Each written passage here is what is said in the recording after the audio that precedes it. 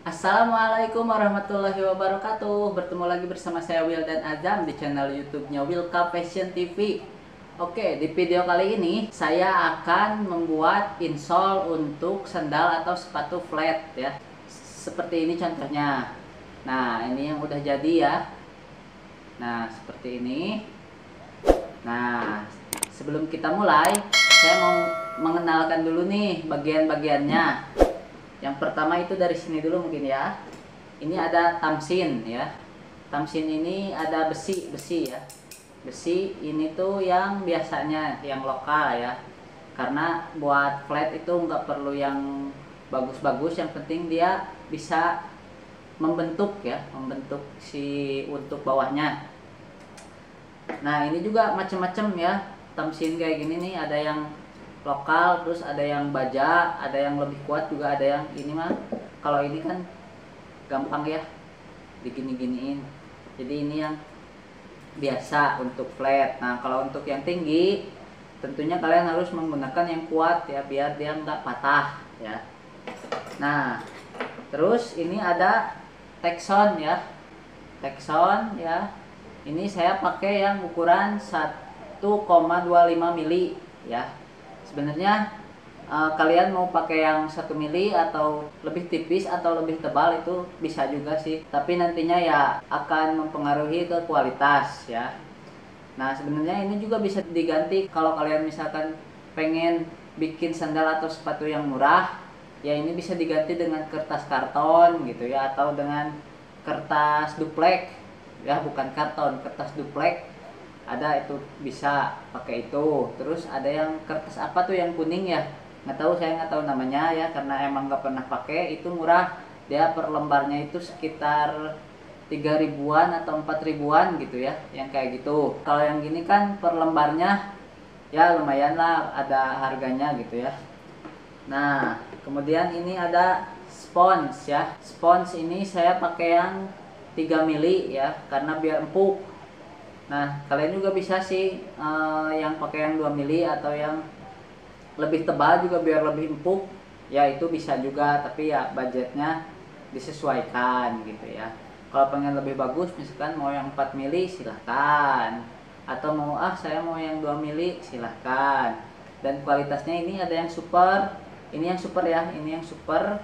Jadi dia tuh lebih cepat dan lebih empuk, lebih cepat ngembangnya gitu. Kalau misalkan diginiin Nah ini jadi nggak ada bekasnya. Kalau yang biasa tuh kalau yang bukan super dia diginiin tuh biasanya agak lama gitu ya. Ada tuh kayak kuku gitu agak lama dia naiknya. Kalau yang biasa terus empuknya juga beda gitu ya. Kalau yang biasa emang harganya juga jauh lah. Kalau yang biasa tuh sekitar 10.000 sampai 15.000 lah yang 2 mili kalau yang 3 mili itu sekitar 20 ribuan ya. Kalau yang ini tuh bisa nyampe tiga dua dua kali lipatnya lebih dua kali lipat lebih lah ya yang ini. Nah kemudian di sini saya ada lem ya. Lem sama kuas buat mengulas lem ke bagian ini. Kemudian di sini ada pisau ya. Ini pisau uh, buat pola ya buat polanya ini beda bentuk. Ini saya mau bikin yang lebih lancip. Oke sekarang kita mulai. Ya pertama-tama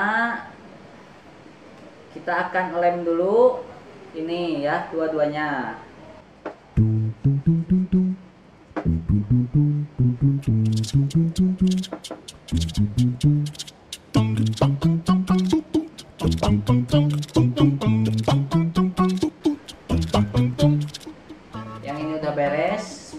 sekarang kita tinggal teksturnya ya.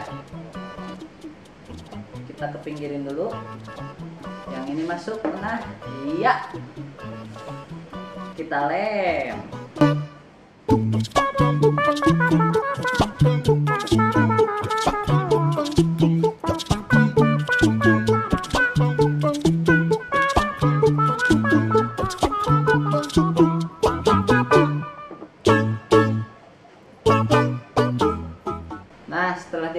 Dua-duanya, kita tunggu sampai kering ya. sambil nunggu kering saya mau makan dulu. Kalian juga nanti kalau misalkan sambil nunggu kering bisa mau sambil makan mau sam atau misalkan mau ke mana dulu ya sambil nunggu kering. Asal jangan dua tahun aja ya nunggunya kelamaan nanti keburu nggak nempel. Oke saya tinggal makan dulu. Oke sekarang udah saya tinggalin ini sekitar 10 menitan ya jangan terlalu lama ya karena nanti bisa terlalu kering ya ini sekitar 10 menitan udah saya tinggalin sekarang kita tempel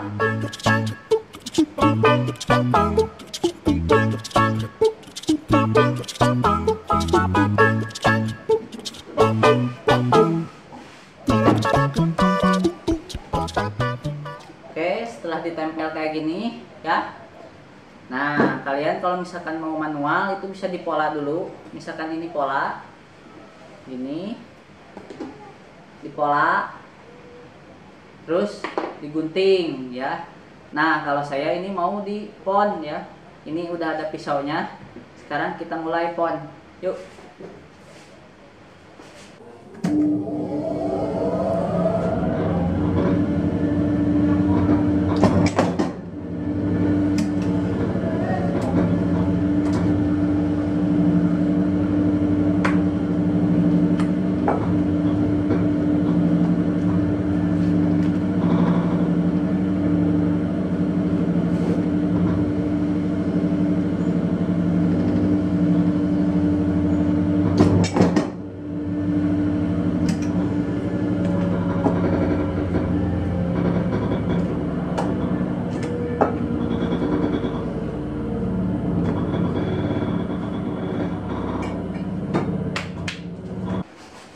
Oke, di sini kita udah beres ya, udah terbentuk jadi insos seperti ini.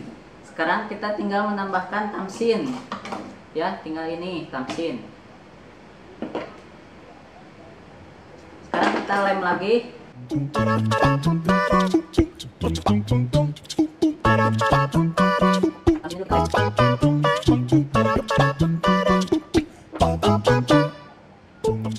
Setelah dilem, kita tunggu lagi sampai kering. Oke, sekarang udah kering, kita akan tempel ya. Yuk.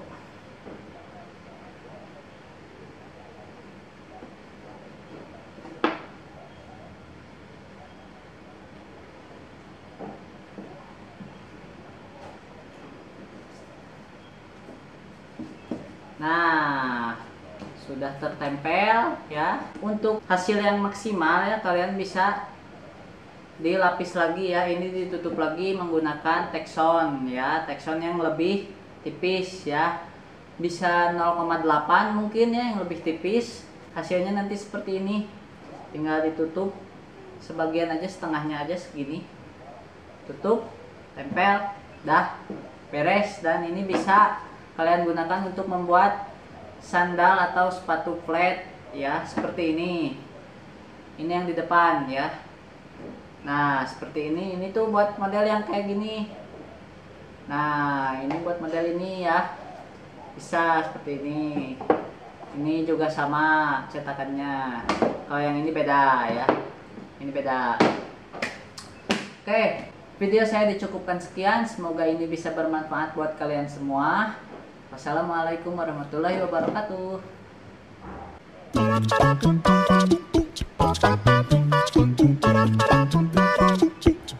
Thank you.